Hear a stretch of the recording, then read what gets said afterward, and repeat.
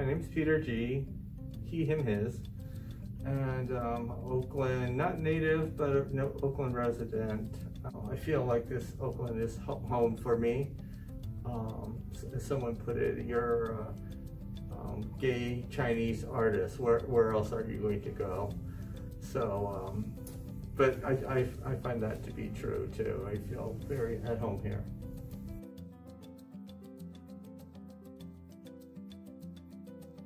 Uh, moments of expression. Um, it's actually um, quite accurate. Um, it's it's very um, pinpoints um, more of a, a, sort of now now philosophy of of my work, and it's um, it is about moments and it's about expression. Mm.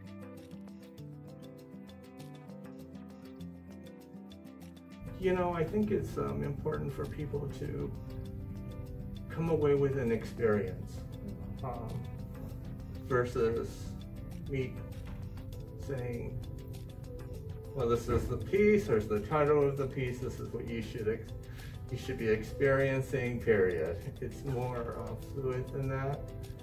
Um, I think it's um, it's important to remember that it's uh, it's poetry. Mm.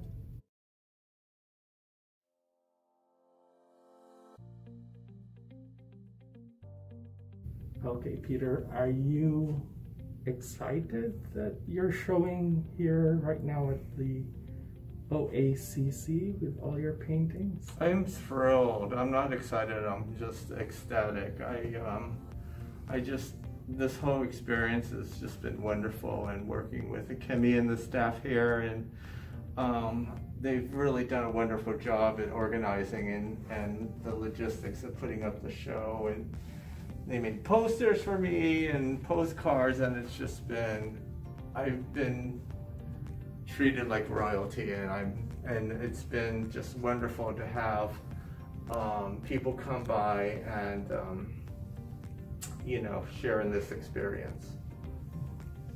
And how do you feel that you know even though it's a pandemic and do you expect people to be able to access your art or well certainly there's um there's a protocol and you know there's signing up and signing in and temperature taking um, but it's not it's it's possible i mean it's it's um, i feel like uh, it, the biggest hurdle is people leaving their computer screens and putting their shoes on and actually doing an actual something that's actual versus virtual what keeps you inspired making all this artwork in your life?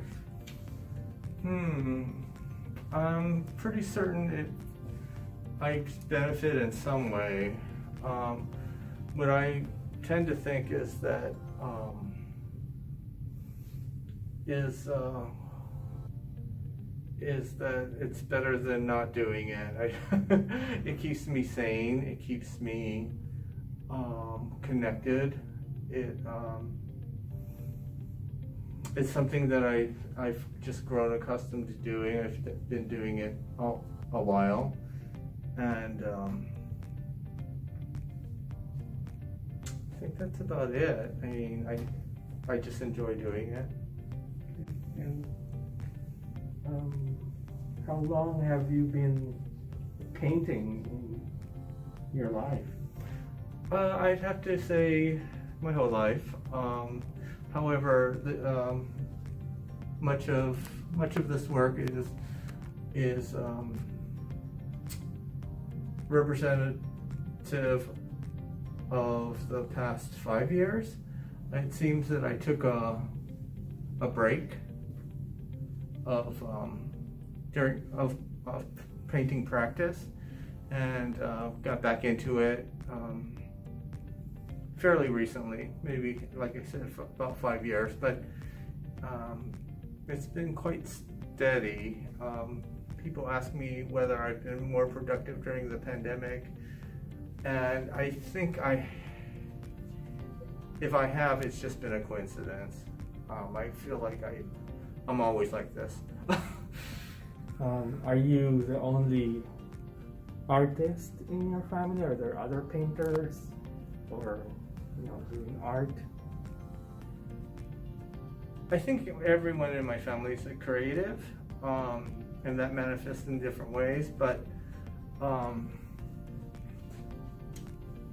I would say that um, you know I, I am the I'm the one who's actually pursued painting as a medium. Um, but yeah, no, I I've been blessed with um, having the support of my family, and. Um, okay. And my last question would be, uh, what would you advise any young artists that are just beginning to find this painting as their calling in life? Put one foot in front of the other. I, I really don't have any advice beyond that. I think it's um, if it's a calling, it's a calling, and uh, you know you're going to find find some way to do it. Um, but I I support it. I encourage it. I um, I I invite you to find your own path. Okay. Well, thank you for um, the wonderful um, interview that and you know feelings that you've shared with us. Okay. Well, thank you for the interview.